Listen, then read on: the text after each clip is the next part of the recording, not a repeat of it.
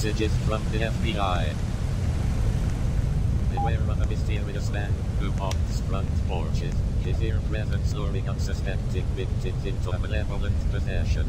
The FBI is deeply concerned about this unexplained phenomenon.